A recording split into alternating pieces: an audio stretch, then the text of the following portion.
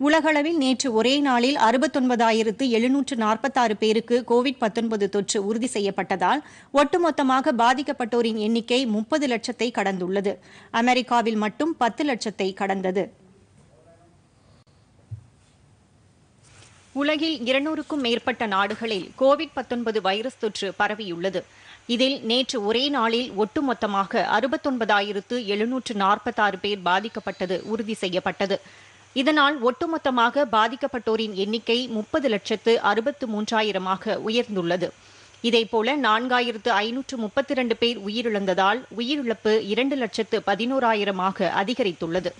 அதிகபட்சமாக அமெரிக்காவில் நேற்று ஒரே நாளில் இருபத்து மூன்றாயிரத்து நூற்று தொன்னூற்றாறு பேருக்கு பாதிப்பு உறுதி செய்யப்பட்டதால் ஒட்டுமொத்த பாதிப்பு பத்து லட்சத்து பத்தாயிரமாக அதிகரித்துள்ளது. ஸ்பெயினில் இரண்டு லட்சத்து இருபத்தொன்பதாயிரம் பேர் பாதிக்கப்பட்டுள்ள நிலையில் இத்தாலியில் பாதிப்பு இரண்டு லட்சத்தை நெருங்குகிறது. பிரான்சில் ஒரு லட்சத்து அறுபத்தைந்தாயிரம் பேரும் ஜெர்மனியில் ஒரு லட்சத்து ஐம்பத்தெட்டாயிரம் பேரும் பிரிட்டனில் ஒரு லட்சத்து ஐம்பத்தி ஏழாயிரம் பேரும் பாதிக்கப்பட்டுள்ளனர்.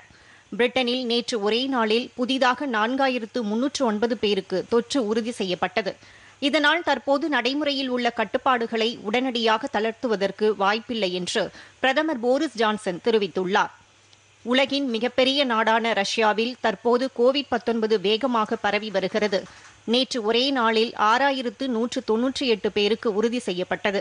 இதனால் அங்கு பாதிக்கப்பட்டோரின் எண்ணிக்கை எண்பத்தி ஏழாயிரத்து நூற்று நாற்பத்தி ஏழாகவும் உயிரிழப்பு எழுநூற்று தொன்னூற்று நான்காகவும் உள்ளது.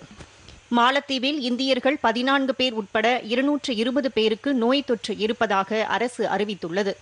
அமைச்சர்கள் உள்ளிட்ட ஆயிரத்து இருநூறு பேர் தனிமைப்படுத்தப்பட்டுள்ளதாக சுற்றுலாத்துறை அமைச்சர் அலி வஹீத் தெரிவித்துள்ளார். வைரஸின் பிறப்பிடமான சீனாவில் பாதிக்கப்பட்டோர் எண்ணிக்கை எண்பத்தி இரண்டாயிரத்து எட்நூற்று முப்பதாக உள்ளது. பெய்ஜிங் ஷாங்காய் நகரங்களில் உள்ள பள்ளிகளில் பல மாதங்களுக்கு பிறகு வகுப்பு தொடங்கியுள்ளது. ஆயிரக்கணக்கான மாணவர்கள் வகுப்புகளுக்கு திரும்பியுள்ளனர்.